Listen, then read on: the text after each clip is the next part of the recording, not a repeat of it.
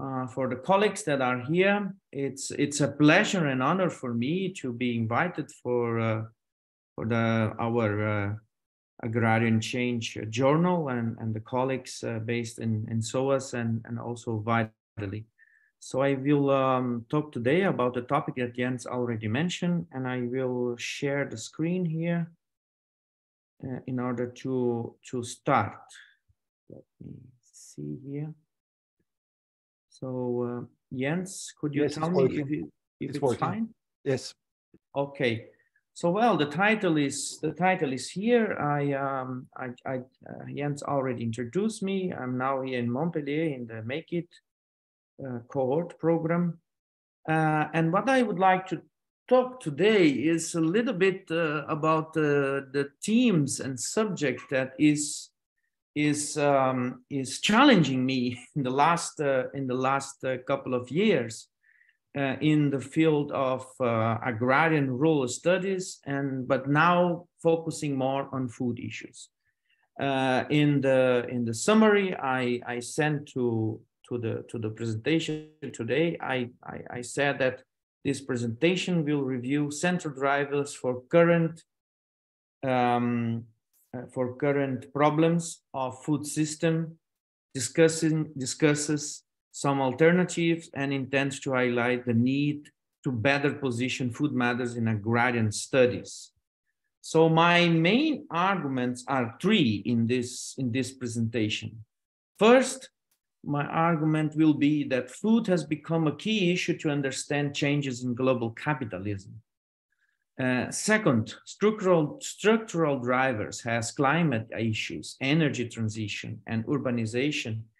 Uh, they are repositioning food in the current debates.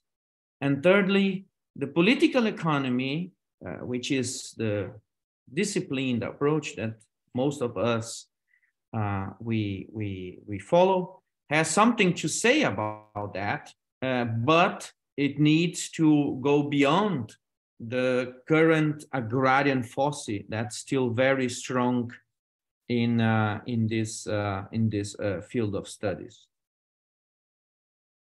So uh, uh, I, I I will start by saying that agrarian question, just to to give a, a, a quick overview about about the, the, the, the agrarian question, which is which is that in the 20th century, of course, agrarian questions uh, issues started before that in the 19th century, but during during 20th century agrarian agrarian issues, but but were were more related to the side of supply, the side of the production, on, on agriculture and rural and rural spaces, focusing on supply the, the and on, on production, technology issues, and cost of the production and the scale and trade.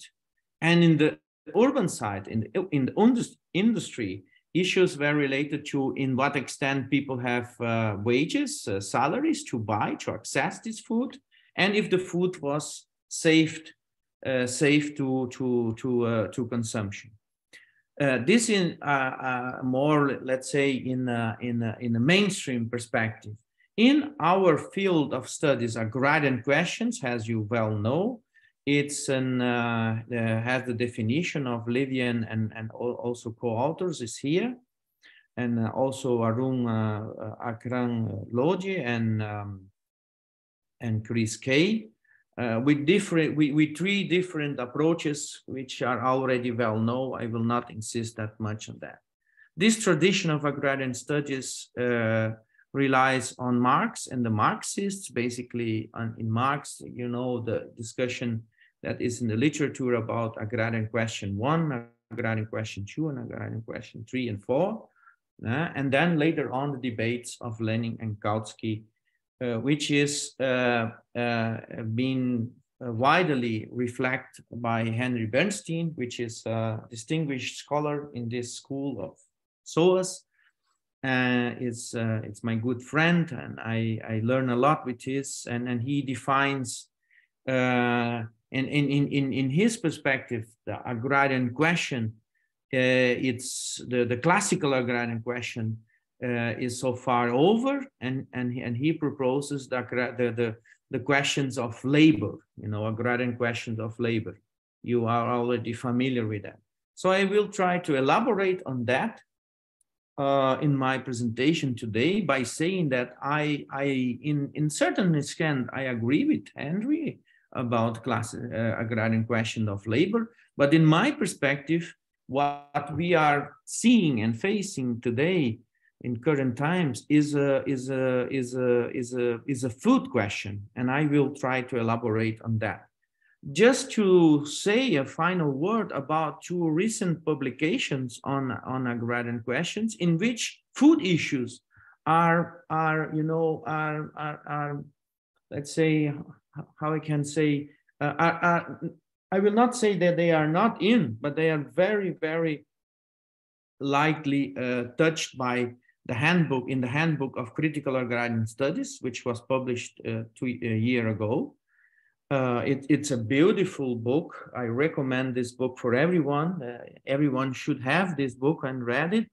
It's an amazing uh, uh publication. And uh, last week, just Jun Borras published an, a very insightful piece in, in Journal of Peasant Studies titled Political Engagement, Pluralistic and International Critical Agrarian Studies Today and in this article, food issues are also uh, uh, not uh, not present. Of course, they they touch, they discuss the international food system, but food has has a has a has a cornerstone, has a has a background for the for the critical uh, for the critical studies.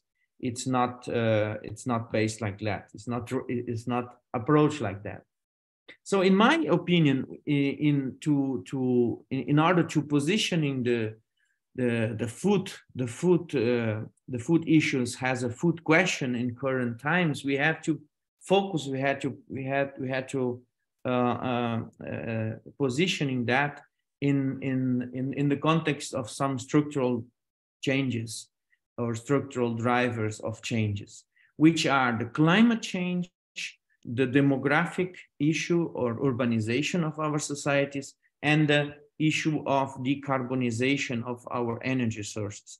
These three problems, which actually are three big crises, are intertwining problems we are facing. In a context of a capitalism, uh, contemporary capitalism, which is more and more um, characterized has a, has a system or a mode of production based on on uh, not that much on production, not that much on on on on on labor as it was in the 18th and 19th century, but on financially and in in the in the in the in the interrelation of three fields: financialization, digitalization, and consumerism.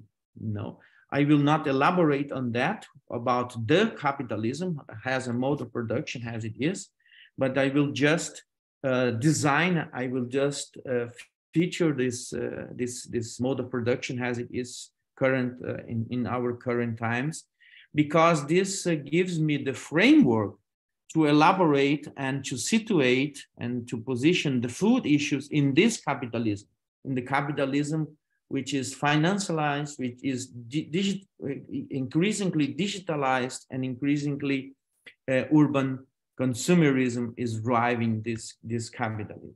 I also would like to remind here, just to comment, because I review and I like very much Carlota Perez's perspective on the five technological revolutions. And she agrees, or she states that we are actually in the middle of a fifth um, uh, uh, technological revolution, which is the, uh, the technological revolution of information technology and telecommunications, she said in his, uh, in his books and in his presentation. This process of in which we are now brings a lot of uncertainty, distrust, envir risks, environmental risks, and increasingly inequalities and multiple, multiple exclusions. So we are in the middle, we are in the middle of a big, big crisis, in the middle of a process of transition, or we, there are different words we can use. Uh, I will elaborate a little bit on that later on. Uh, but we are more or less we are more or less lost in the big jungle without any without any any any localizer in order to to to tell us where is the direction to go out and this will probably uh, stay for quite some time nobody really knows how much time it will take to the end of the war uh, ukrainian war how much time it will take until we find an alternative source of energy that would be at least um, capable to to uh, uh, uh, um, to substitute um, the fossil fuel and and so on. Well, um, just to to try to to to look at evidences from for what I'm saying here is a report from the Global Risk Report 2022 last year, and this report of it, it was done by a very conventional uh, think tank, which is World Economic Forum. But anyway, I, I just use this to because they are these guys, this this this uh, these thinkers, they also agree that climate change, weather, and biodiversity loss are the three the three main risks in the the societies uh, that we are living now. So, in this moment we are living, a lot a lot of problems, a lot of of, of issues are related to the way that we, we, we produce, we consume, we transform, and we deal with food issues. So this is my this is my point, and this is why I, I will I, I will uh, elaborate on the on the hypothesis that we need to focus on food and food changes in order to uh, analyze what's going on in our societies in our times uh, that we are living.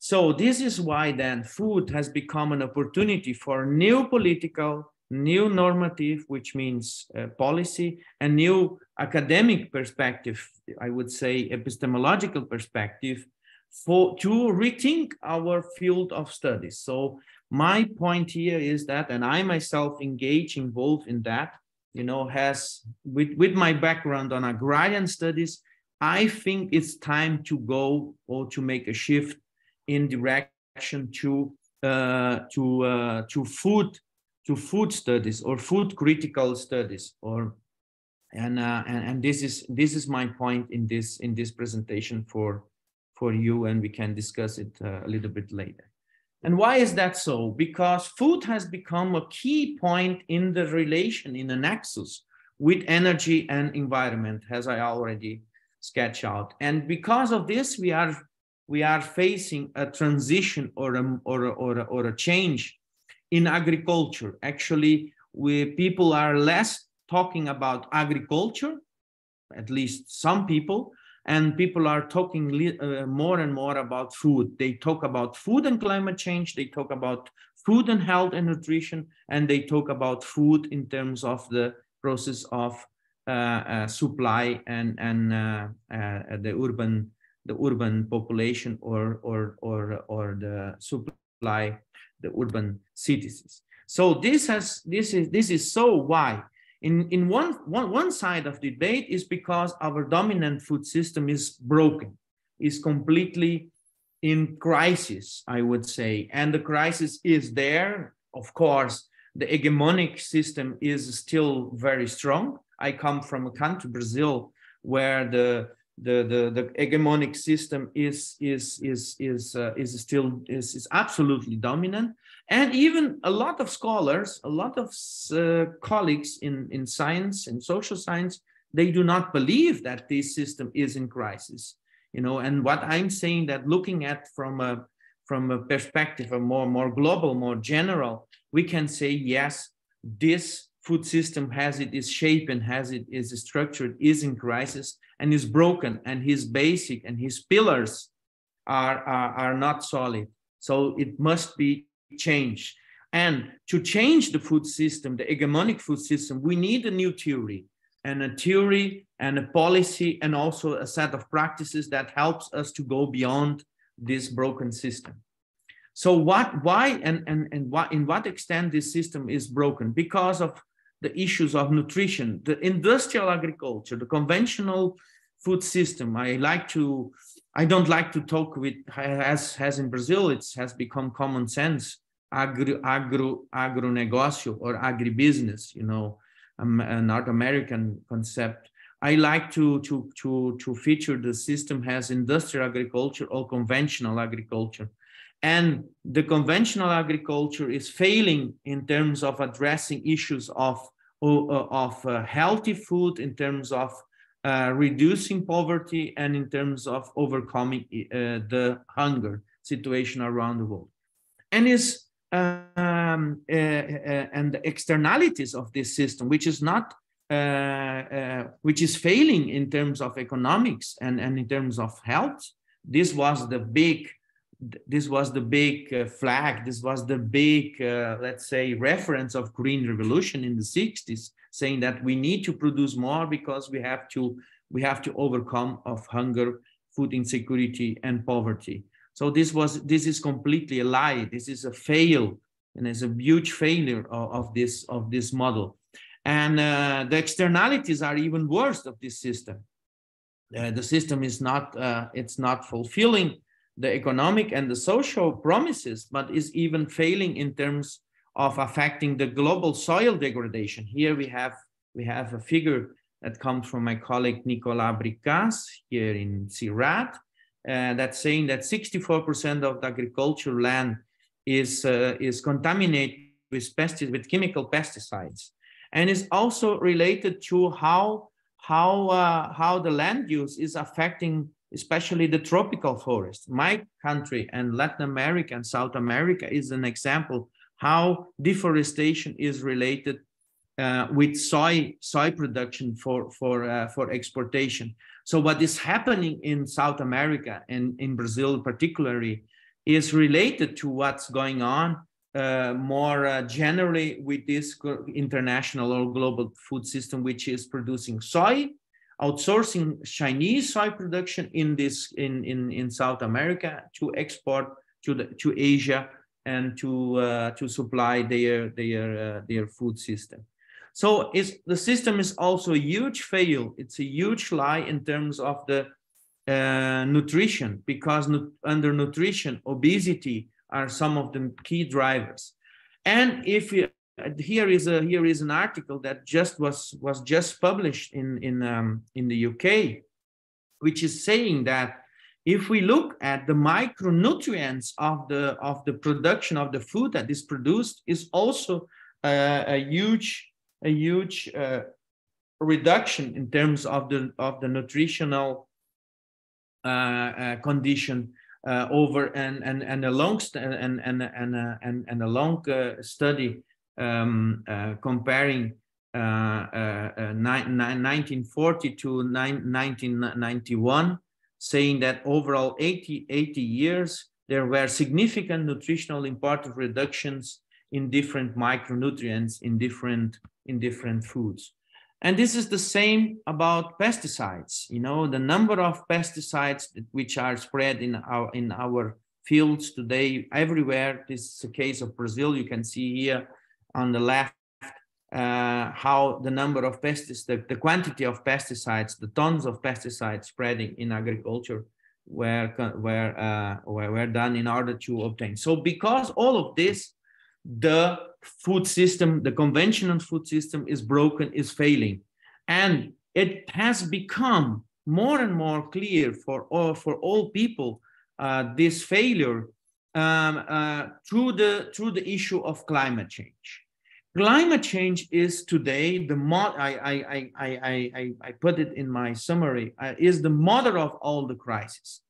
I I I completely um, convinced that climate change is is is is the big is the big the problem uh, the big trouble that we have in the 21st century and uh, and and um, and climate change uh, and the way has it has it uh, set the climate change issues is is absolutely directly relate with the way that we uh, that we produce food and we consume food. So in the last global meetings, food has become a clear driver for climate change, and and this I think is a is a, is a, is an is an important point that we have to uh, address now in terms of our focusing on agriculture and studies. So there are plenty of data. I will not uh, take too much time uh, talking to you about that because the way that we use the land and the food production is is responsible for a lot of uh, for a lot of emissions in terms of uh, uh, in terms of agriculture. The agriculture itself is the is is is one of the one of the key sectors. Here we have the emissions. Here here we have global emissions. Um, uh, uh, uh, uh and here we have the emissions per country, the 10 countries that do the, the, big, uh, the big emissions. Uh, by curiosity, it's China, India, and, and, and Brazil. In terms of farm gate emissions, land use change, and pre and post production, they are championing the the the the greenhouse the green gases emissions around the world. So um, here you can see a figure that shows how much every every every uh, um, uh, activity from agriculture and food is is contributing to uh, to production. Food itself is 26% and non-food is 74%. Even though if we look at, for instance, uh, livestock and fisheries, uh, they are related to to that. So this is why then it has become so clear and has become so strong. Uh, and has a sociologist, I, I would say, has uh, uh, the classical sociologists always say, if we are in a, in a, in a, uh, seeing a social fact that is repeating and is in, uh, and and and and is uh, bringing external cohesion, we can say that we are in the presence of a, of a sociological fact. So food is actually become the main sociological fact in current times. And this is uh, absolutely clear.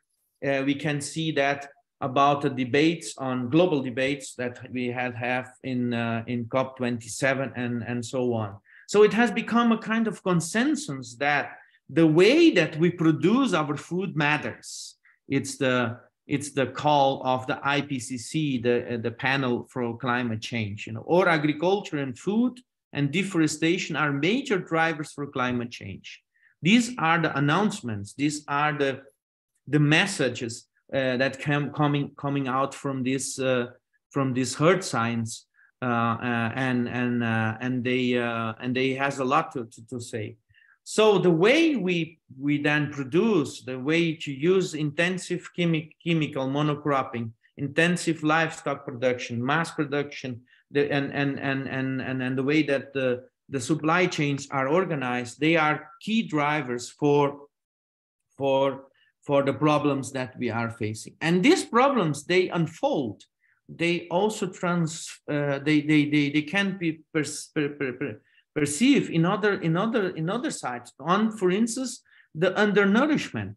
Uh, a lot of uh, a lot of uh, stakeholders from the conventional system they say oh we need to produce more because we have to we have to uh, uh, overcome uh, poverty and and hunger. But the problem is that the system is failing is not is not feeding the people is not nourishing the people because undernourishment eh, of the societies in all over the world has has not uh, disappeared. So we have we still have about 2.3 billion people in the world in food insecurity most of them in africa but also in other countries. Even in developed developed countries we have people living in food insecurity because they have no healthy food to eat. So food is also a key driver for energy, for CO2 emissions. So then uh, if we want to talk about decarbonize, decarbonize, decarbonization our, our energy system, we need to think about the role of agriculture and especially the use of the of the of the of the fertilizers that rely on on uh, on uh, on um, on petrol and on on foil uh, on on on, uh, on fuel uh, fossils. So here again, it's another data full of data. My my presentation. So in in in what extent environmental impacts. Uh, what are the environmental impacts of agriculture? So you you can see here increased greenhouse uh, uh, gases emissions, land use, freshwater use, eutrophication, and biodiversity. So the red line is how agriculture affects all these uh, items. So it's it's uh, it's it's more than clear. It's it's absolutely it's absolutely over over clear. And here and here again, this is this is just for France. For instance, if you look at the emissions of French agriculture uh, just just uh, agriculture production in France alone is is responsible for 65.6 uh, percent of the of the of the emissions. So I I will not uh, bothering you uh, too much with this um, same argument, but this is the point. You know, I'm making the point that food is a driver for the big problem, for the mother of the crisis that we are facing today, which is climate climate change and related issues. But it's also related to the urban, to the urbanization, to the urban world. So as the societies are becoming more urban, food is becoming a, a, a key issue because we need to, to think, we need to organize uh, food system in terms to feed uh, uh, uh, uh an, an, an, increasing urbanizing world. And uh, these are figures from Jason Moore, where he shows that with this process of urbanization, this completely, completely rearrange, completely repositioning the way that we uh, feed the societies, we, we feed the people. And the conventional system do does this in terms of you uh, of feeding people, nourishing people with uh, a high, uh, highly protein and highly, uh, highly caloric uh, food. This is why most of people are suffering from blood pressure and, and, and other problems. The point is that we already have enough food. So, but the food we, we have with this conventional system is not healthy, it's not good. You know, the, again, the case here, uh, uh, here from FAO, uh, to, to, to, uh, which I took from my colleague uh, Nicolas again, uh, which which shows that the production it's it's it's increasing more more fast more fast than the, than the, than the population. The rates of the increase of productivity in agriculture is, is, is, uh, is, is, is increasing uh, more than, than, than the population that needs. So it's, it's, it's a fraud to say that there is no enough food in the world today. There is enough food. FAO and other organizations, they know that. And they know that we don't need to produce more. We need to distribute better we need to make better access to food and not produce more. So this is this is a key point in terms of studies, in terms of uh, in terms of uh, analysis uh, about the system as it is uh, as it is uh, uh, now. So the contradiction is plenty of food in a world of hunger and and poverty. Again, lots of data. I I will not keep my, my, my time on that because I, I have still some other things to say and these data are easily to, to gather. So uh, the point here is, of course, to not be naive, to not be Pollyanna, to not be a kind of, uh, let's say, um, let's say misleading uh, about this issue because food is not just an humanitarian problem uh, food, food is actually uh, a problem of limit for economic growth and capitalist accumulation. So this is the point of a, of a, of an uh, of an approach of political economy. How how we how we fit in, how we how we how we how we um, positioning food in this perspective of reflection on the economy, on the capitalism which uh, we are living now. So why food food matters in capitalism? It's it's it's the question. Because of prices and access to food, everyone knows that if the prices of the food are too high, the salaries, the wages of the urban classes or the, of, of the people need to be higher, and most of that cannot afford to buy enough food. So uh, so the price of the food it matters for for uh, for capitalist uh, uh, uh stability, economic stability, and and uh, and uh, and for the working class especially. Uh, also, the prices of food relates to the to the to the to the energy because as food industry, food sector is using a lot of, of a lot of uh, energy inputs. If if the energy bases increase, the, the prices of food do uh, do the same or go in the same direction. So this is why then food has uh, has a key driver for, for, for global changes. The global economy relies on the way that food is produced and is is uh, traded and is and, uh, and is consumed. So here we have still another another reason how much how many people uh, make their livelihood in food system.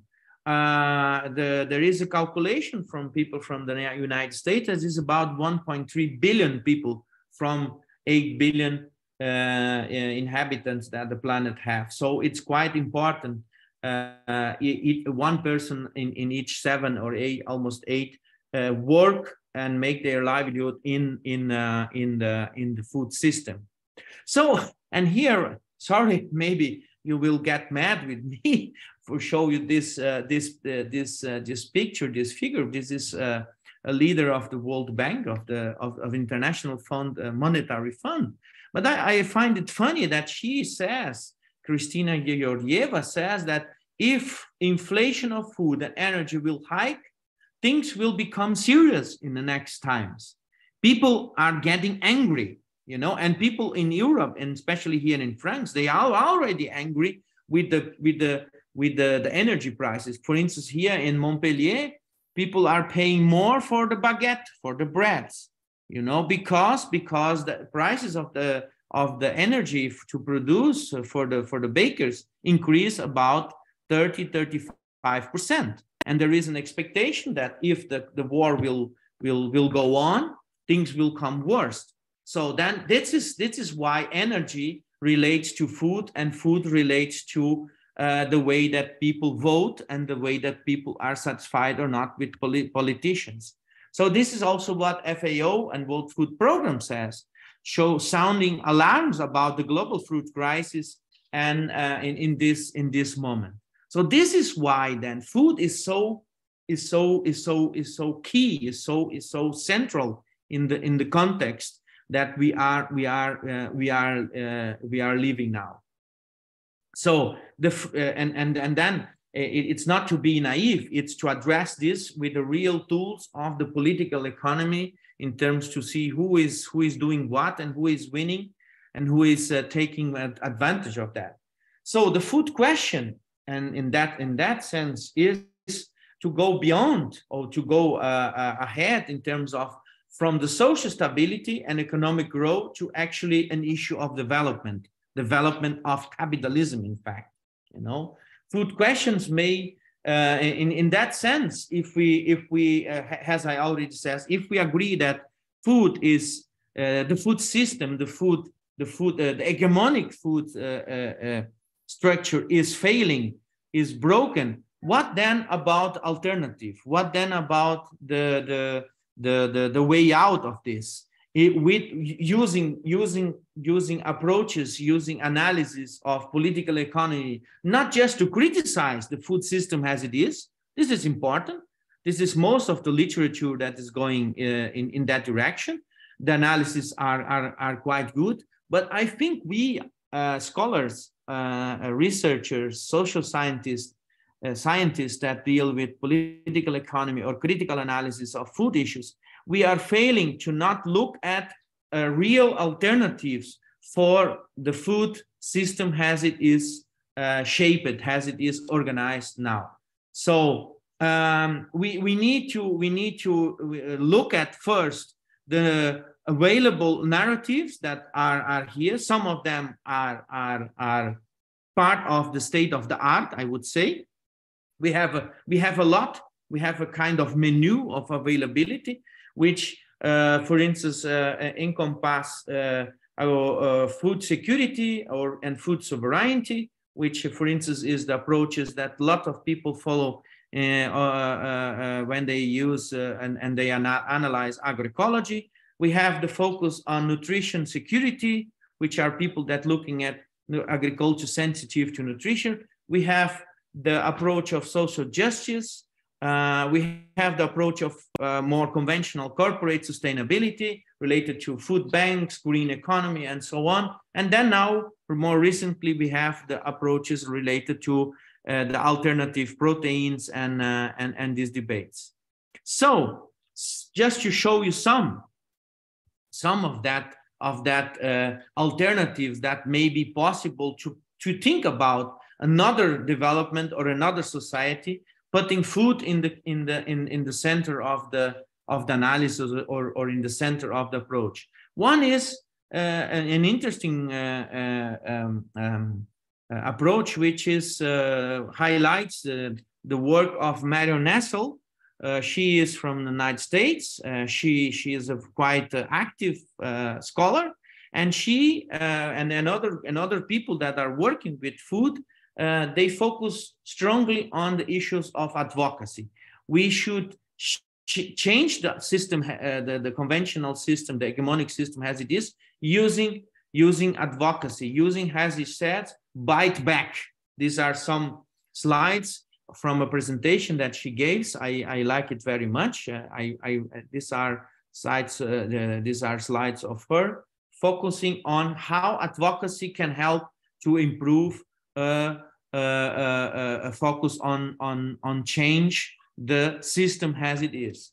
A second, a second way in, a second perspective is the science policy interface, which is being developed with lots of scientists, especially from the from the bio from the biology and the earth science, and some personalities, some public uh, some public uh, uh, people that believe that international organizations like FAO and uh, and World Food Program and uh, and uh, and the and the panel of specialists, uh, especially the the panel the, the panel of climate change, they can play a role in terms to to show people how important is to change uh, food in in our society.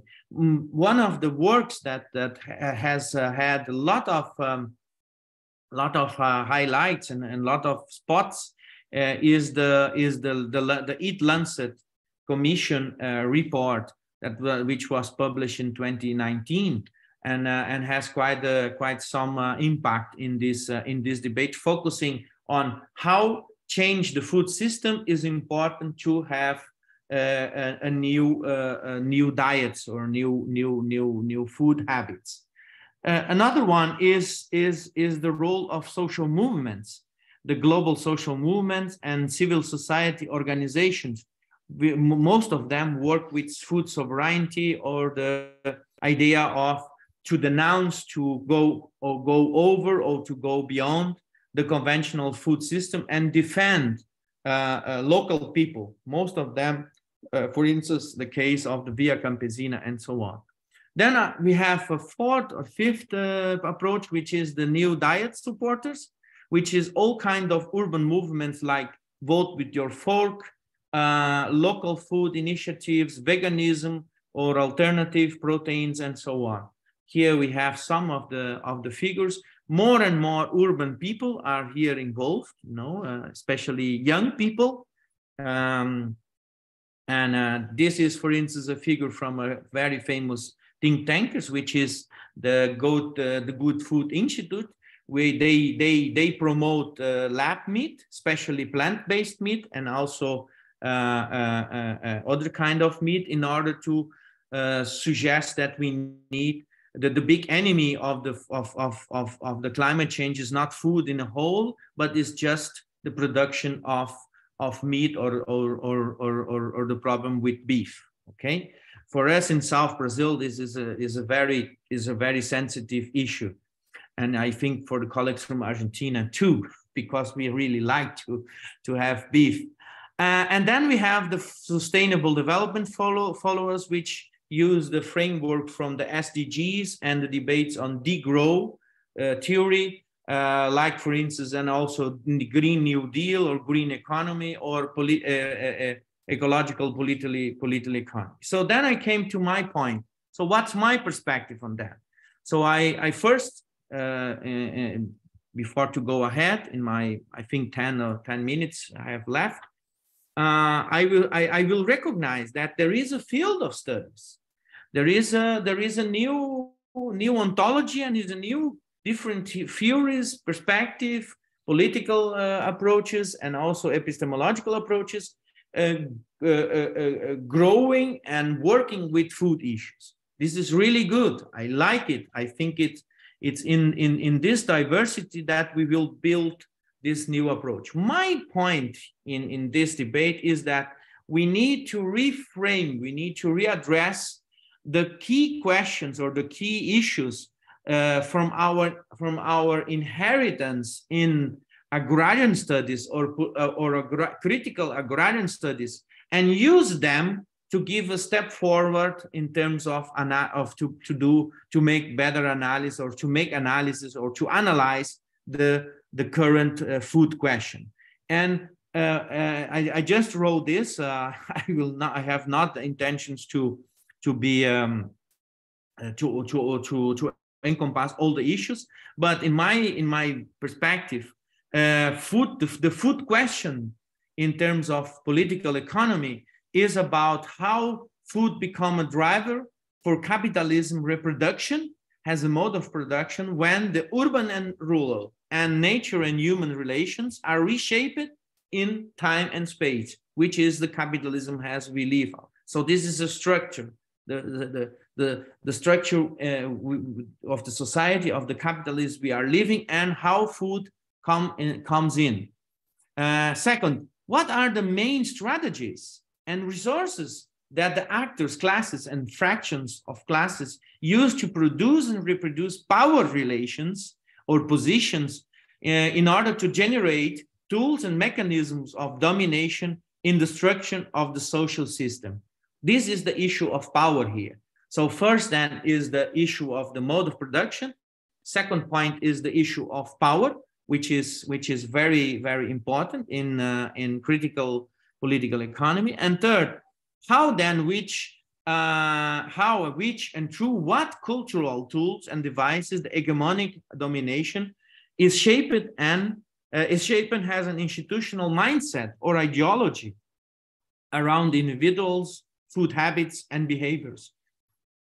if we will use the old uh, the old division uh, among infrastructure and superstructure, this is that my third point is about the superstructure or the or the uh, or the mindset which because the food system in most of time for instance agribusiness in brazil agronegócio is is far more than a mode of production is far more than concrete capitalism in my opinion agribusiness agronegócio in brazil and south america is a mindset is an institution so four to address food production and consumption in order to better understand inequalities, multiple forms of exclusion shaped by race, gender, and class intersection. So this is typically an analysis, an intersection of race, gender, and class related to food. Food is a matter in which you can recognize the different social position of male, females, young, old people, and different uh, uh, uh, sex preferences or, or, or, or position. And finally, to reflect, analyze, foster, and strengthen agency of all kind of actors, collective groups, social movements, networks, uh, in uh, and also with this and also the state policymakers committed with the food system that might promote values in a sense of sustainable development. So this is is I, I, I would say my, my, my, my point in terms of, of action. So let's see how I, how, I, how I depict this. And with this, I will end up before we go to debate. Uh, this idea of, of, of food question in, in political economy relies on a lot of revision of uh, books. Some of them are here. Some of them I helped to write. Has this one, for instance, Global Rural Development and Food System. So now I will go to, to the to the to, to, to approach food system. So we, we in the, the state of the art that we have now in, in, in, in the debate of food system, we can find different perspective. First is re reconversion, idea of to, to, to reconversion uh, the, the food system as it is. The second one is debates on transition. The third one is debates on transformation. You heard a lot of transformation, this and that. Then the fourth one is what I uh, I uh, I'm proposing, which is transformative transition. So you can see here my my my uh, my uh, my gadget I, I, that I use. You know, I think we need transformation with transition. Just transformation is not enough. Transition is not enough too, and reconversion is business as usual. So reconversion business as usual. Transition is change to to modify, but doing better with less. Uh, and transformation is change to transform to build a new one. But what we really need is a transformation, is a transformative transition, which is uh, something in between, because sometimes transformation, I think, is too much in terms what we are seeing. So the, here there are lots of uh, uh, discussions on transformation, transformation. I will pop up. I'm a good accompany with uh, in this debate with my good colleague uh, Colin Sage. Colin Sage is more or less thinking in the same direction as me. I, I make the case to quote him here, and um, because his perspective is a little bit different of my ones, he says that he's building a counter narrative which he calls conviviality. It's a set of uh, features here. I will not go in in uh, in deep in, in uh, depict them, and in the perspective to build a new paradigm on the right of the food. So I'm I'm I'm not in that. My perspective is is is what I will show you now. My perspective is what I'm calling uh, for the moment, at least in the moment, a kind of heterodox political economy of food, which encompass structures, institutions, and actors uh, and which focus and which make strong dialogues with Mariana Mazzucato, idea of uh, food has value. She wrote this beautiful book on the value of everything, which is, I think, is very inspiring to think about political economy of food.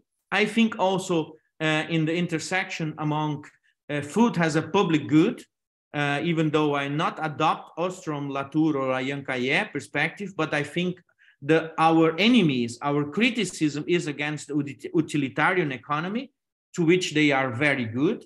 And food, in that sense, is a public good.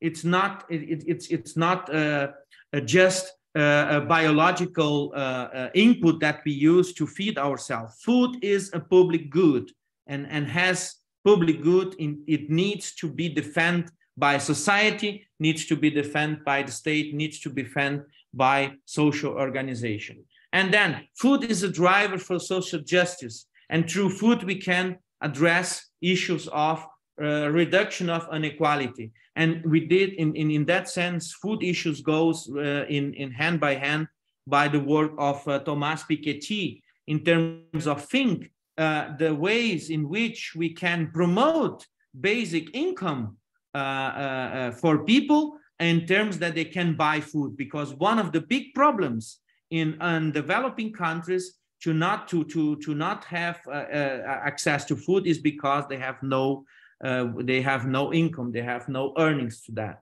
And finally we have to locate food in a new ontology political ontology which is food has a new utopia you know i i i, I feel that we are living in a society that our big utopias are in crisis. And the crisis is exactly because we live these times of dystopia and uh, movements like uh, green social movements led by young people uh, like Greta Thunberg or new food and diet habits fights against uh, the meat, the consumption of meat, or even, for instance, urban agriculture promoters, or some people, young people that are promoting uh, new cooperatives or new ways to go back to the to the rule all this what all these people are doing in in in a, in a, in a, in a general extent i think is promote a new food utopia.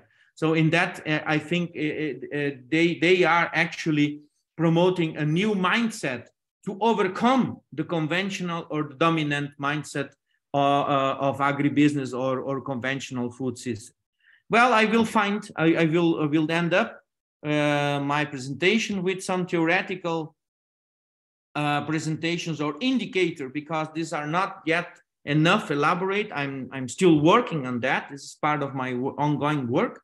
Uh, so where I where I situate, where I where I look locate my my my my idea of the political economy of food, which uh, I, I locate in this in this let's say group of group of scholars. The the big one is the main reference is uh, my my my my uh, my uh, my light, which is uh, Karl Polanyi, and then uh, uh, the work of uh, Mariana Mazzucato recently, and the critics that Jason Moore makes to the to the Capitalocene and the Anthropocene is is absolutely fine and absolutely I agree with. But we cannot forget what Nancy Fraser is saying, that to look at the dimensions that that food uh, uh, that that uh, issues of race and uh, and gender brings in our society so thinking on on this reference in terms of food i think we can find a new a new way to deal with uh, with that perspective what we can take off from from mariana mazzucato is the concept of value value to produce food is to produce value what the, the other system, the conventional system is doing is extracting value. So this is what we don't want because extraction of value, it's not good for, for the nature. It's not good for the climate change. It's not good for the society. What we really need is a food value. Is food has value. Food has public values. So the, the contradiction, and that is in the dialectical contradiction, I would say, with among value creation and value extraction, which is, I think it's very, very powerful in, in uh, uh, conceptually and also politically. In that sense, uh, we need to, we can rethink the idea of growth, of growth, and not think just idea of degrowth or idea to like, for instance, my so lots of colleagues in, in, in, in my country and in my uh, continent think and the post-colonial approaches, which are against growth, they propose a degrowth theory, and I, am not uh, in favor of that. I need, I think we need to grow, but not grow in terms just to accumulate, just to just to generate uh, um, uh, uh, uh technology or or or wealth, but we need to to to grow in terms to make distribution and to make inclusion and uh, distribution and inclusion in a sustainable way. this is then what values we are talking about. We are talking about three levels or three layers of values, not in general. This, I think, is Mariana Mazzucato needs to elaborate a bit because she she said she says a lot about values, but she doesn't says that enough about what kind of value and distinct different difference of value. So I will add some uh, ideas in that and, and, in order to finish Jens. Uh, I know that we I, I I'm over my time. First layer, people's life and people well-being. Second, people, uh, people's uh, and and second la- second level or second layer, uh, the assets, and the third layer about the uh, capacities. So, in in in in in uh, in in in first, we need to better. Uh, we need to improve the people's livelihoods, individual behavior and practice in terms of value. Second, more resilience, environmental resilience to better institutions. And thirdly, uh, broader social justice in terms to have uh, uh, better public values or, or, or common, common, um, common values, which, in which the state is important because only the state can create uh, an institutional arrangements by laws, norms, and, and rules that warrant that people will not lose the the rights when the government change and when some when when when some uh, uh, uh, um, uh, some political uh, instability happens, like for instance in the case of Brazil. So then, this is just really to finish for better livelihoods, improve assets, develop develop capacities, create better accesses, and in this I I also here I come together with lots of references in terms of livelihoods and political economy, which uh, the reference is, of course, uh, Ian Scoones. Second, the idea of resilience, nah? increase uh, infrastructure, mitigate um, uh, uh, forecast, support agroecology and circular economy, foster energy and food transition. And thirdly, broader social justice with better economic distribution, which the state and the policies can do through taxation and give incentives to some uh, initiatives, or to promote economic growth without increased inequalities, and to promote public goods, for instance, infrastructure, internet, access to internet, digitalization, I think they promote public goods. A lot of people can do better uh, uh, if they have these assets. And finally, education and culture. In this sense, I'm aligned with my uh, also a reference, uh, Jun Borras, which says that the, the, the, the strategy to overcome um, uh, uh, authoritarian fascism is the five R strategy which is redistribution, recognition, restitution, and uh, regeneration and resistance. This perspective that I am elaborating in the political economy is aligned with that what Jun Borras think in another in another way. So I just will stay here and say thank you so much for your attention, and uh, and I'm open for uh, some uh, questions and discussion. Thanks so much, Sergio. That was uh, that was big. That was that was big picture stuff, and and of course hugely interesting because of that. Uh, it's it's also with with when one discusses or presents at that level, it's of course also sometimes difficult for the for the for, for the listener to grasp the consequences of the of the argument. What does it actually mean if one tries to pin it down? Because what you did was both to say we moved to food, and then within food it became, shall we say, a new focus on on the reasons for it, but also for the new utopia what what had to be created. And your model towards that which focused on heterodox political economy of food. Uh, and you then sought to to to outline what what the elements of that would be. And to me that was that was in a sense really really interesting to try and and and well, it was all interesting but to try and come to grips with what that involved to you.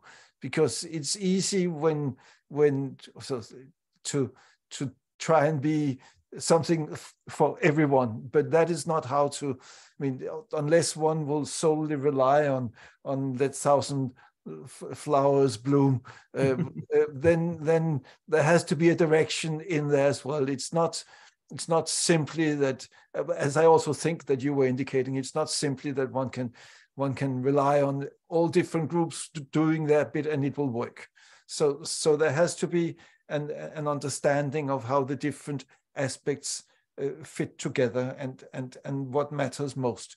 And, and so, so my way of sort of a way into getting to know more about how you see things there is to, to ask uh, the questions who and how.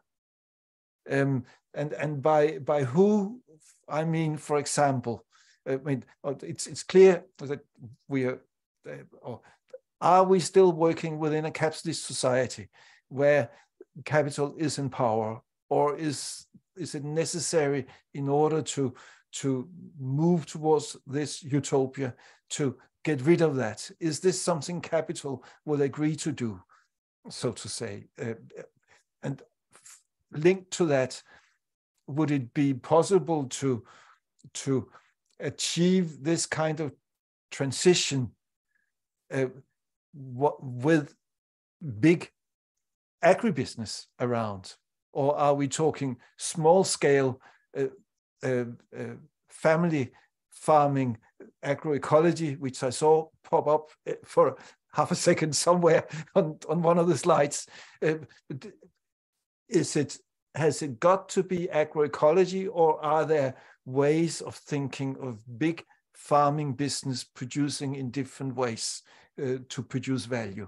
Or are we or is this in a sense a, a, a new way of, of of of arguing for a family-based ag agroecological revolution?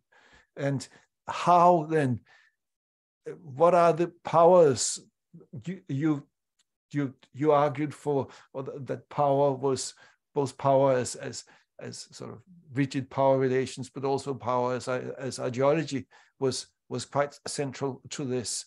So, what are the changes in power that are necessary for for uh, uh, us to move towards uh, food as a new utopia?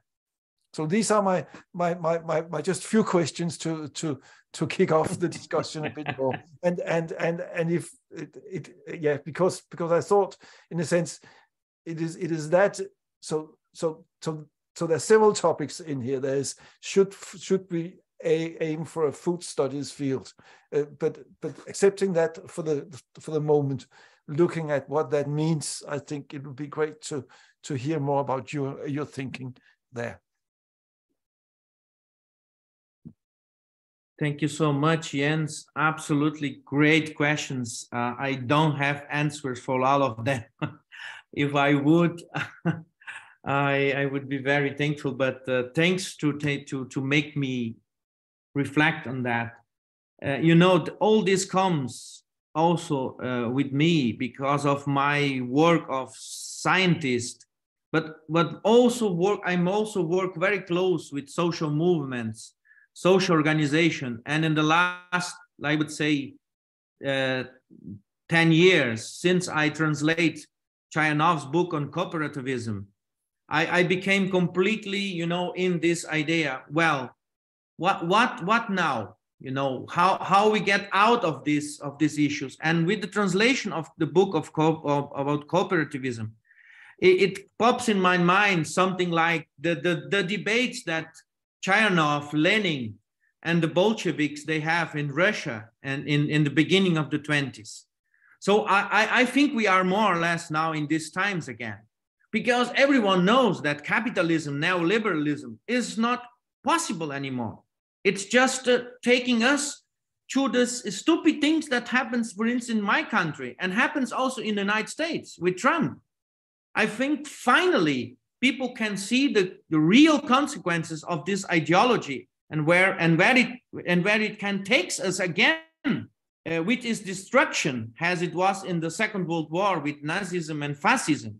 So i think reasonable people uh, wise people and and, sen- and and and and common sense ordinary people they are touched by these issues. So but we also have the lessons that we from the left from the communism, socialism, they, we learn of 100 years of tradition in try, try to, to, to, to build up something alternative to the capitalism. And, and I hope we learn something. And I think we cannot do the same mistakes. For instance, issues of the, the size of the state, the role of the state. What, what about markets? What about private uh, uh, ownership? So this, all these things takes me to the debate on cooperativism. And these are the questions that you are asking me who and how? And in that sense, I find the best answer in Karl Polanyi. That is the best answer. Karl Polanyi says that capitalism itself, leave the capitalism in, in the free, in, in, in freedom, will, will, will, will, will destroy the, the, the, the land, will destroy the labor, and will destroy the money.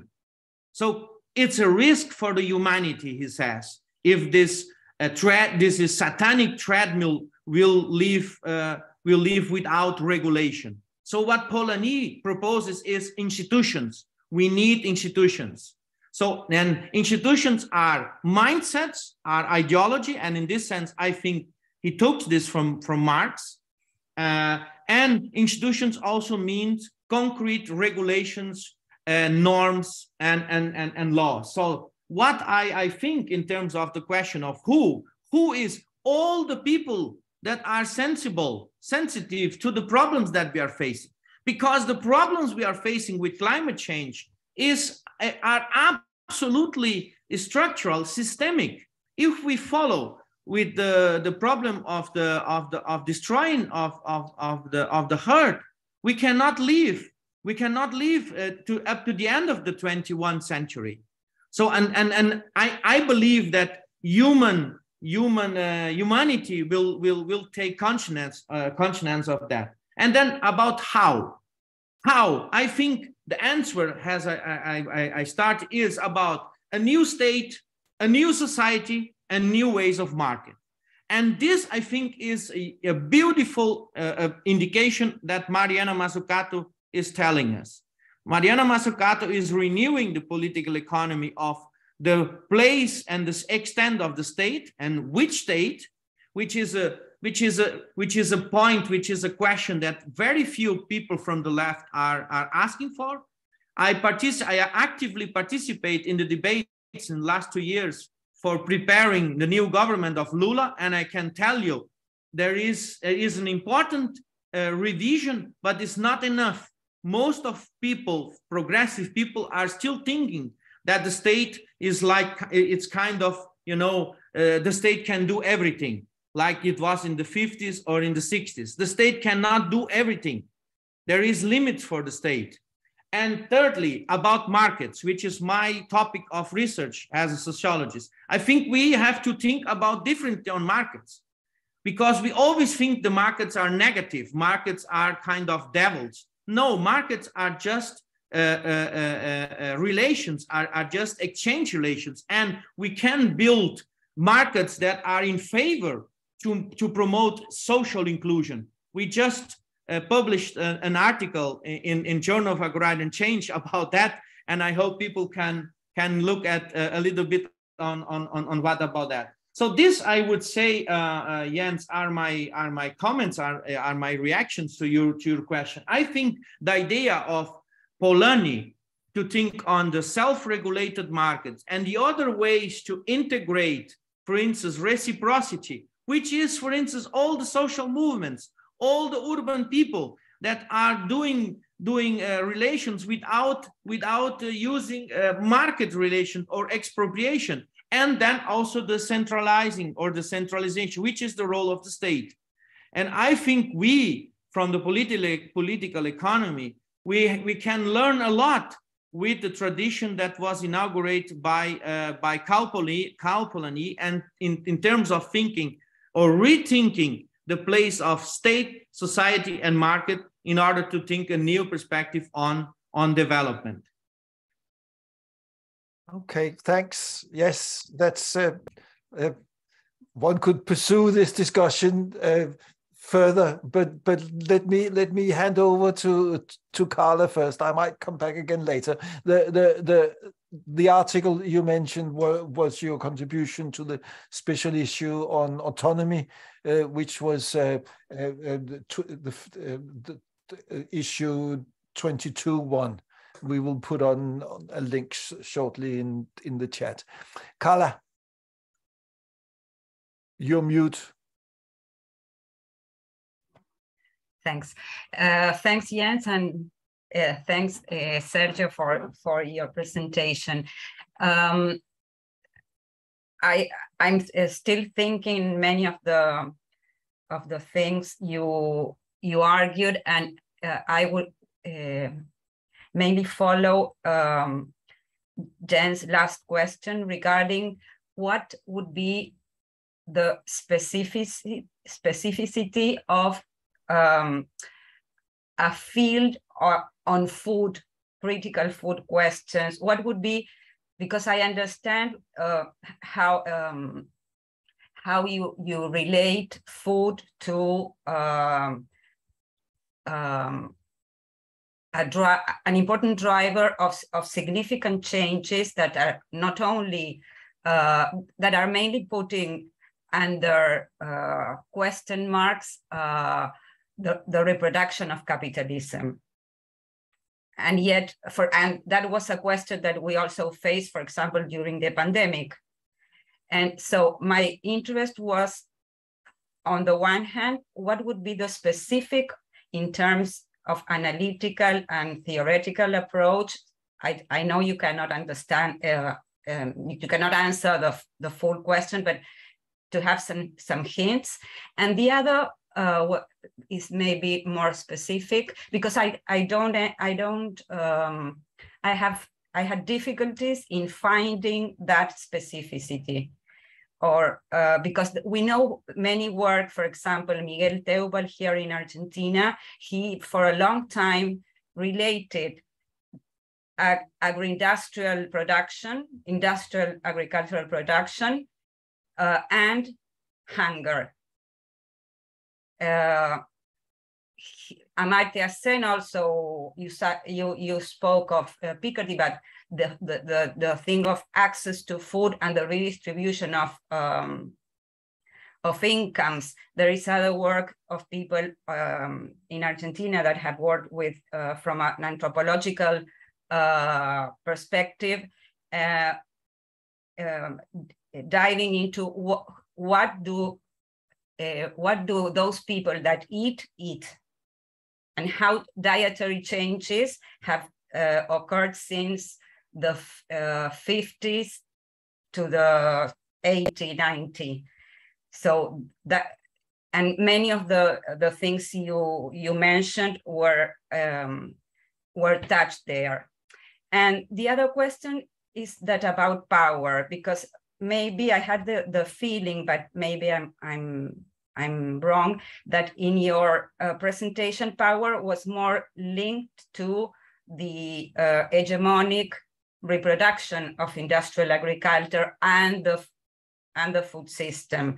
But what about power in this uh, future? How do, how would would we address power in these imagined uh, futures that that we we need to to think about? Thanks. Sergio. Thank you so much, Carla. Nice to see you here. Good, excellent question. My point, um, I had not elaborated that much on that. I, I cut off some slides about that. My starting point, Carla, is something very practical. Population in the world is urban. Population in Latin America, it's absolutely urban. Urban population in my country, Brazil, is 86%. Just 14% of people live in the rural. So how we want to promote, to propose a new ontological change for the rural, looking at just 14% of the population in a country like Brazil. No possible. It's not possible in Brazil, not possible in Latin America, not possible in the world. So we, with our critical agrarian studies, we need to look at how to connect a, a, a, a sensitive proposal to go beyond the agrarian, the rural, all the, all the studies, all the proposals that we have in the field of critical agrarian studies, they are still in focusing on rural population in a broad sense, even the debate on classes of labor. But population is urban. So how we want, my point is politically, how we want to build a proposal in order to in order to get power, in order to get get get the, the conditions to to make changes in the in the rural, uh, uh, convincing non-rural people, non-rural uh, folks. My answer is very easy: is food. Food has a mindset. Food is something that mobilized people's mindset. Food mobilized young people. Food is a key driver to animate to foster, to completely change people habits in urban places. I'm sure that you know people in your uh, personal relations that are shifting from, from uh, beef or meat eating to veganism. In all family, this happen. Why these people are doing that? And if they change their food, their, their food habits, their diets, they are also able to change their mindsets they they they they change their perception of life. So this is my point carla. So and to be not to not uh, to to keep in our field of political economy we need to look at because if not we have to go to the other side of the of the bank of the river which is foucault. Foucaultian, Foucault, Foucault analysis, they are very, very powerful analysis. And some people, I see this in some articles, they are trying to mix uh, uh, uh, uh, political economy with Foucault. This doesn't work epistemologically, and this doesn't work politically. So my point is how I how how I am as a scholar uh, in, in the political economy can deal with those things in terms of epistemologically, but also terms of uh, political practice. So I need to, I need to, uh, I, I, I think we need to address another way in order to to to to be to to to to to connect a larger a, a larger social group which are the consumers. Consumers are not it, it it's it's a very let's say uh, how how i can say it, it it it's not a class. It's a very difficult to grasp who are the consumers you know and and then it's the second point you know i think we need to look at how to make alliances how to make connections with these people and this is happening everywhere. It's happening everywhere. And the problem and the issue is most of these initiatives, most of these practices are completely naive, are completely Pollyanna in terms they try to change. I will change my life. I will change my uh, habit, my diet, but I don't know everything or I want to know, I don't care about the capitalism.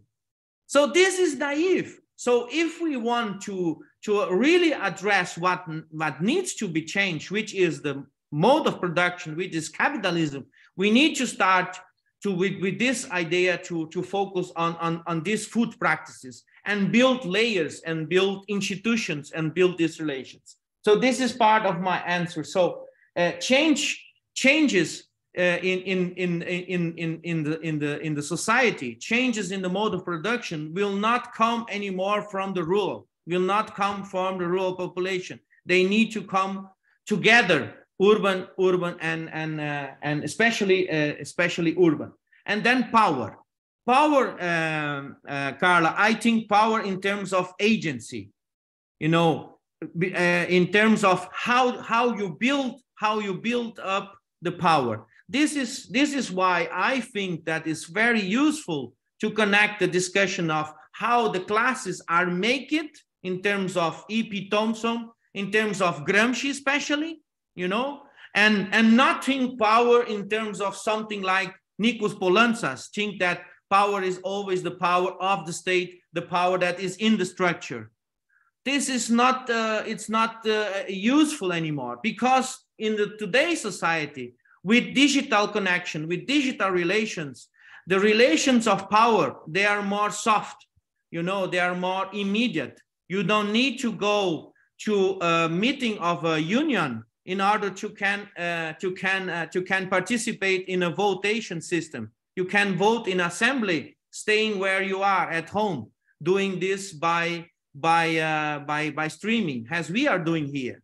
So power, we need to redefine power in terms of how power is agency. Power is the capacity to the individuals to to to, to, to, to play a role, but not individually. Because if we do, if we stay that again, we fall in the in the in the individualism, uh, uh, and and and and and this is naive in my perspective. So my point is to connect these three layers: agency, actors, institutions, and structures, in order to produce these changes. And and this is, well, this is this is where I am. Uh, I, I, I, am analyzing this by looking at farmers, I analyzing looking at this by co-ops, by through unions, and analyzing this by how these uh, co-ops, unions, and social movements they connect to bigger structures, which is the state, which are the markets, which are the international uh, connections. That's it, or, ne or networks, I would say. Very good. Thanks. Thanks. Um, I I have a follow up question, but I'll I will I'll wait for that a little longer. Shreya first.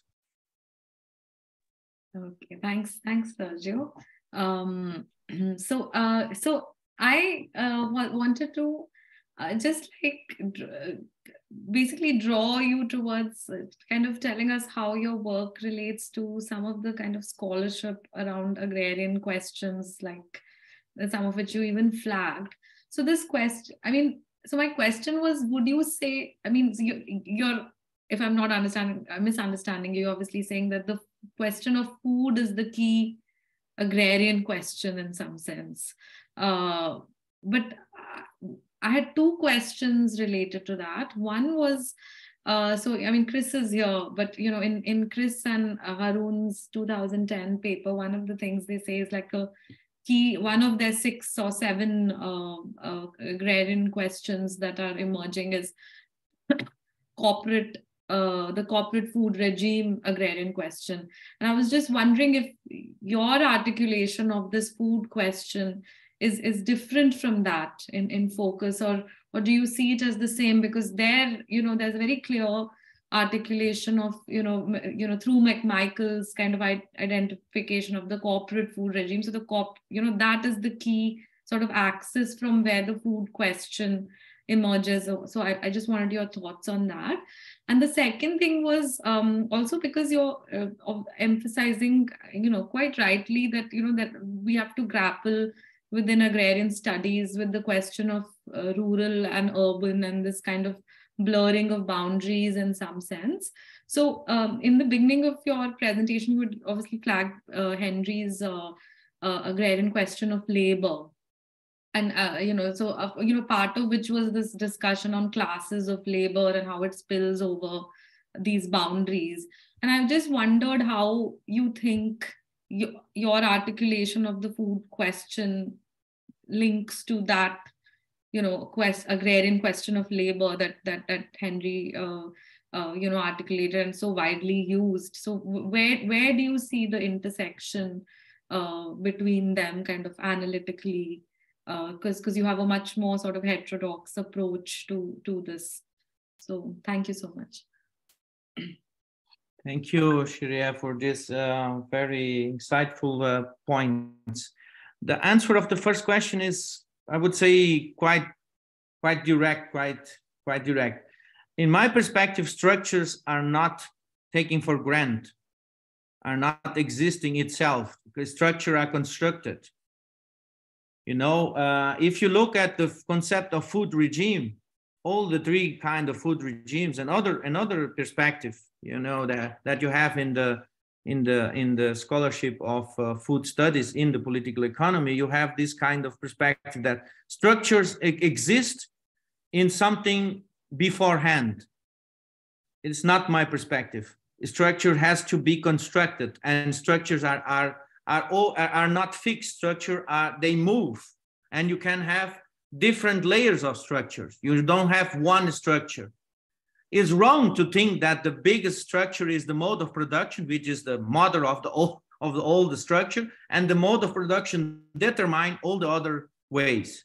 I think Marxism already overcome this idea that of determination of the of the economic or the or the mode of production of other dimensions. But in order to go beyond to the next the next step is still to be done. And in that sense, uh, relational sociology or perspective on actors. Uh, uh, and, and, and, and, and in that sense, it's uh, the answer uh, again of your question, answer again is in Karl Polanyi. Karl Polanyi believe in capitalism. Karl Polanyi, for him, is clear that capitalism exists as a mode of production. But what he says that the mode of production, it's not, uh, it's not an homogeneous structure the mode of production coexists with other forms with other forms and here and there you can fracture you can you can change the capitalism you know? And and and, and that's the the, the the key idea. You can do it by the state you can do it by policy you can you can fracture the, the mode of the structure by the social movements you can fracture the capitalism by the markets you know, by different actions. But what you need, and this is new, and this still political economy is weak, is institutions. Institutions. This is the dimension that we need because we, we give very, very uh, few or very uh, weak importance to the institutions. The theory of social movements, in, and I admire the work of Jun Borras and all the people that work with social movements, civil society organization. But what's the big problem with that? The big problem is that social movements, they have a line of increase and when they reach the point and they could not, they are not able to institutionalize in, in, in where they act, they, they, they go down or they disperse. So what we need is to, how, when we conquer power, when we, when we, when we, when we get power, how we keep with power. That's the point. You know, it's not just an issue of develop uh, to get power to increase the power relation, but in what in, in what sense you you really keep with power because it, it, the, the, the life, the power relations is a, is a battlefield. Sometimes you won, sometimes you, lo- you lost some battles. And about classes of labor. Classes of labor is absolutely important, but the problem is that is dealing first, is dealing with the with the with the with the with the with the small part of, of, of the rural society. For me, it's not enough to say that that the, the most of people in the rural areas are living just not anymore from agriculture, but from other ways to get their livelihoods. This is true. I, I studied this a lot in Brazil. Uh, in Brazil, we have another name for the de-agrarización. In Brazil, we call it pluriactivity, pluriactivity which is the non-agriculture income uh, uh, sources or, or, or, or, ways of employment. This is completely now uh, everywhere it's in China, it's in it's in Brazil, it's in it, it's in all countries. Uh, uh, people don't live anymore from agriculture. They don't have their livelihoods from agriculture anymore. That's the, that's the point, and there is no problem with that. And I think this is absolutely okay. This is absolutely fine if people find their reproduction outside of their uh, uh, their their their uh, agriculture activity. The problem is, or the issue is that food can become a way to produce not a precarious or, or, or, or marginalized way of integration through food to local food, let's say to a small organ, a small uh, uh, uh, supply chain, to small production or to small cooperative, the these rural people that are living in this marginalized, precarious ways to make their livelihoods which have some unstable sources of income through food through the food they can they can do it in a more stable way. So this is why if we have proposals not just to to give for instance uh, a, a, a, basic income for this for these rural dwellers but they they, they give them real real uh, uh, uh productive inclusion give them real opportunities and and food can can can can, can be the way do can can be the can be the driver. This is my point in terms of anna anna going uh, uh, uh, accept the idea that we are not in in agrarian. People don't make their livelihood anymore from agrarian. I agree with with the with the scholarship on uh, on, on classes of labor about that but it's not enough to say that these people are doing their livelihoods they live from the non farming or non-agriculture incomes. They do other things and they are doing this constantly. Is just to go to the field, just to go to the rural. Then you will see a lot of people trying to do that. And if we have ways to stimulate that, ways to foster that, we will see this in a lot of ways. For instance, then connecting food issues with biodiversity. In a lot of the developing countries, in a lot of, under, uh, of marginalized area, the same people that are living in precarity, marginal and vulnerability are the same people that are damaging the uh, biodiversity. So if we build this connection, biodiversity with basic income, with basic livelihoods, we will sort out climate change problems, uh, uh, uh make better livelihoods and produce better conditions of life. This is my point in terms of, of the, the relation among classes of labor, which is the next step in the, in the agrarian political economy, to this uh, food, uh, food perspective that I'm, uh, I'm, I'm proposing. So we, we have uh, 12 minutes left. Chris, um, you will have the next question and, and I will tag on my question after that okay. so that we can let uh, Sergio then speak for the, for the rest of the time. Yeah. Thanks. Hi, Sergio. Nice to hear you and uh, the presentation. Unfortunately, I had problems connecting at first, so I came a bit later. But you present a big picture and very encouraging and very convincing. And uh, I like your passion in which you present it because the problems are mainly are, are crucial, as you say, and life-threatening for the planet and for the people. Uh, but I would be interesting to hear more about the Lula's program, agrarian program for the next few years. And Shreya already raised the idea of corporate, the corporate power, which I translate in the Brazilian and Argentinian case very much the agro industry. You know, it's a whole institutional and the whole mindset also. And the other day we had something about seeds and so on of uh, modified seeds and how everybody accepts that discourse and so on, you know, the power, how they dominate the discourse, these agro industries, technology, modernity, and so on. And on the other hand, you have also in Brazil a very powerful research institution. I think one of the biggest one in Latin America, which creates new technologies, for example, soya, which can be grown in dry areas and so on and so forth. So my question is, how can the, how does the government intend to tackle the agro corporate power with all the commodity chains, which create a huge percentage of foreign exchange in which the country depends on. So, but how to transform it and the way you suggest, transform it and at the same time also change it, uh, change the system, so to speak, in a new system. And one power which the state has in Brazil is of course this very important technological, I forgot the name of this famous technological institute that you have, which has thousands of researchers and creates- Embrapa. Huh? Embrapa. Yeah, yeah, that one. Uh, it's well known. So there you have also the possibility of creating, let's say, a friendly technology for asentamientos, for peasant farmers, and so on and so forth, you know, instead of just creating the seeds and technology for these big uh, corporate agro industries.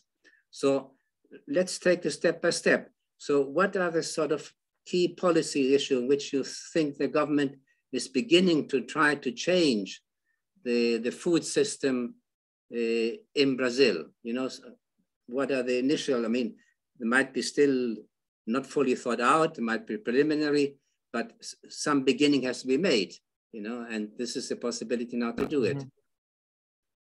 And and before you. you. answer that, Sergio, let me just uh, put my uh, last question in as well here, and and please concentrate on Chris's uh, question. But uh, so I so I I've been puzzling while while while while you've been answering question, and and I think there's one issue here that that that it would be worth pointing out and see what you think about. And that is so, of course, climate change has to be addressed here now, urgent. Food question is important for that. From there, you go to that can be done because that is also a way of uh, of, of, of building alliances of consumers. Mm-hmm. Now, my question to you is two things here: uh, why this shift from building alliances based on class, uh, position, production to uh, building an alliance as consumers. And I'm not questioning that one can build alliancing, alliances around consumer issues, bread and peace. Uh, but why is that not based on class still?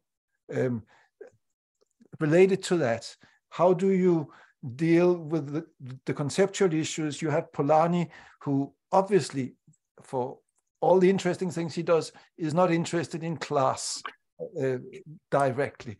And then you have, on the other hand, E.P. Thompson, Gramsci, and so on, that base their thinking clearly on class. Uh, when you are analyzing alliances, what do you base that analysis on? And uh, is it alliances of consumers, of classes, and how does that link in with what you say is your guiding light uh, Polanyi, who does not think along those lines. So, so I'm not, in a sense, expecting a, a, a, a, detailed answer to that. But to me, that these are issues that are sort of in the framework worth thinking about too. But please return to Chris's question here first. Thank you, Chris. It's, it's an immense pleasure to see you again after so much time. Thank you for your for your question. Uh, well, I have to talk to you from uh, someone that lost the debate in recent time in Brazil. My position in the group of people that advise the, the, the people that are going to the government was that the better to the, because my my my position was to keep with one ministry ministry of agriculture and food. This was my point. And not to go back to the structure that we have in the beginning of the 2000 which is now in in, in power which is again repeat the two ministries the ministry of agriculture and again the ministry of family farming agrarian development and family farming so some of you here in the room will be very happy because people in Brazil, there are still some agrarian faints in Brazil. I would say the most of them because in Brazil, these ideas that I am raising for you here, I, I, I am, I'm not, uh, uh, I'm not in the in the in the mainstream debate. Uh, most of people, you you probably know my colleagues, they are they are do not agree with me. And this vision is again in, in, in, in power. Why is that so? My perspective is that uh, after 20 years, uh, Chris, Brazil and Latin America and the world changed. Doesn't make sense anymore to just reintroduce the same framework of, of institutional and policy as it was in the beginning of the 2000s. Is, is, is, is out of time. Time never, time never come back. So Brazilian position now in, in, the, in the international division of labor, it's completely different as it was in the beginning of the 2000. Well, taking that in and taking that in account, I, I uh, uh, things are going uh, just to, to answer your question. Things are going in that way. Big challenge for the for this new Ministry of Agriculture which is led by a leader from uh, Mato Grosso, which is a senator and, and is from the, let's say, progressive agribusiness, if this is possible, if you believe in that, uh, which is different from the, I would say, uh, polluted and and uh, and deforested and rentist agribusiness, which are which are the agribusiness one that are killing Indians, uh, deforest Amazonia and uh, they land grabbing the, the lands, which are a lot. So hopefully, uh, I, I at least will hope that the, the, the progressive agribusiness committed with uh, sustainability will, will, will, will go on. And this other side of the coin will be fine. I don't know. Because in the parliament, in the parliament, this, this first uh, uh, stream, this first group, are very, very powerful. And just today, I watch on the TV, they came in and I, they are claimed back the national company for uh, food supply, which was in which was uh, moved from the Ministry of Agriculture to the Ministry of Agrarian Development. They are they are not accepting that.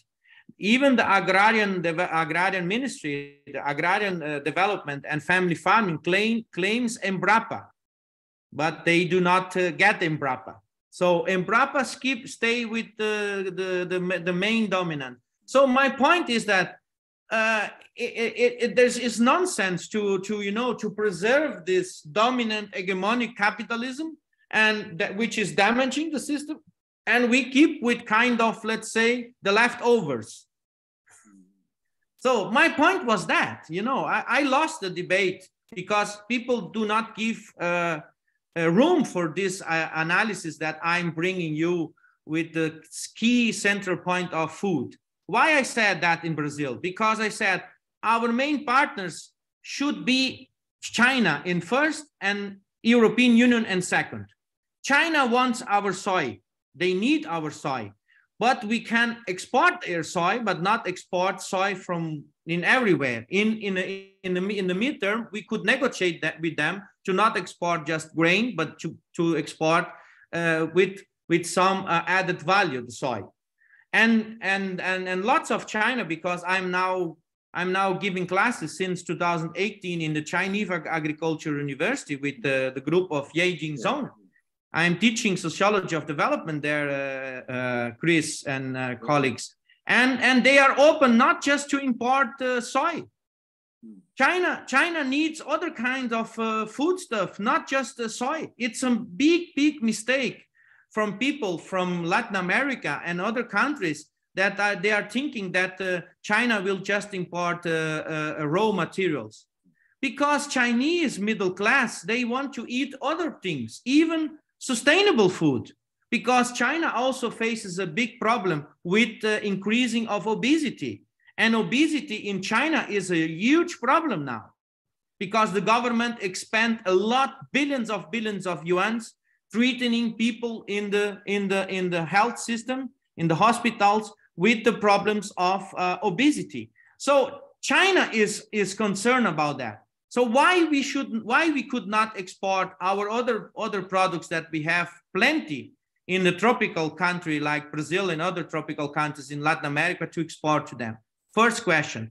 European Union. European Unions, they are deadly looking for agreement with Brazil and, and, and Mercosur. So if they want, they have to pay for that. What they have to pay? They have to pay the, the, the, the, the support for the emissions. Yeah.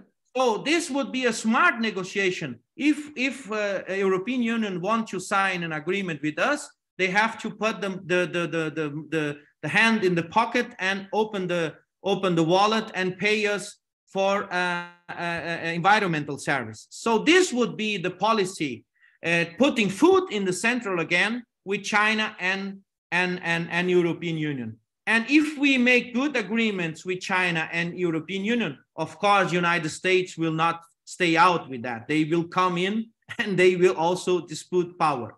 And then we still have the other countries, like, for instance, Russia and, and, and, and India, which are huge countries. And Brazil is maybe one of the single countries that can have this relation because we have some uh, comparative advantages. So why we should keep on uh, Chris and dear colleagues, with this idea of family farming, just kind of, let's say, promoting peasant farming and promoting kind of uh, residual policy. No, my point is think systemically, think in terms of, uh, of, of the total, okay? But there, but, there and, can, but there you can include the, the cooperatives. You can. Of course, of course. Yes. This yeah. is my point. Exactly, yeah. that's my point we have uh, in these 20 years of policy supporting family farming in Brazil, we have nowadays a very strong sector of family farming engaged in, in solidarity cooperatives. Exactly. They do not produce just for, for, uh, for the domestic market. They produce far more. They need to export. There is a, there is a, there is a mistake in the left and in, in people that think on rural development in the perspective of decolonial or post-colonial post-colonialism in Latin America that think that uh, uh, family farming or peasant farming should just supply national or local or regional markets. This is a completely wrong. This is a completely mistake. You can export and not do the same as the has the has the the conventional system. So this is why I lost the debate. I hope they will be lucky and uh, and things will go on. I don't know. With Embrapa, uh, I don't know yet. The president, the, the Embrapa is a huge company. It's very, very powerful. And Embrapa has in hand, I discussed them to, a couple of years ago. Embrapa has in the hand uh, the, the maybe a, a, huge advantage to be the, the only and the single uh, company that really dominates technology in tropical regions in the world, in the world. So what Brazil can do with Embrapa, making connection with Africa, making international relations is absolutely amazing. So I really hope that we will be able to do that, that we will not lose again the train and and and and to jump in this perspective because we the world need tropical agriculture to be sustainable and Embrapa and Brazil we can do that we had the technology we had the knowledge about that because yeah. we already did it in in Amazonia we did it in other regions and we can get we can give a huge contribution to the world about that yeah. And there is millions of billions of, of yeah. money in the world yeah, exactly. that can be used to be uh, to build up really a real sustainable tropical agriculture without cutting cutting the forest, without cutting the forest. Yeah, great, Sergio. Thank you very much for giving that very good answer and very complete answer with such a passion also. And I wish you luck in your future activities in Brazil. Yeah. And I think we should stop there. Uh, it's past uh, seven o'clock here in the UK and um, so I think all that remains is to thank the audience for for its active participation, and of course Sergio for this tour de force, uh, both by way of presentation, but as much in the answer of the questions where where where I think we took the discussion uh, further, which is always great. So uh, thanks so much to everyone. And uh, next uh, agrarian change seminar is not in two weeks' time, as has been announced in the general program, because we're on strike here in the UK in 2 mm weeks' time on the Thursday. So therefore, that we don't do academic activities, including seminars. So in actual fact, the next, uh, so that will be postponed till maybe maybe the autumn. Um, the, the next uh, uh, uh seminar that will go ahead is in early March, um, with actually myself presenting for right. once. Uh, but uh, thanks so much for today and uh, see you all next time.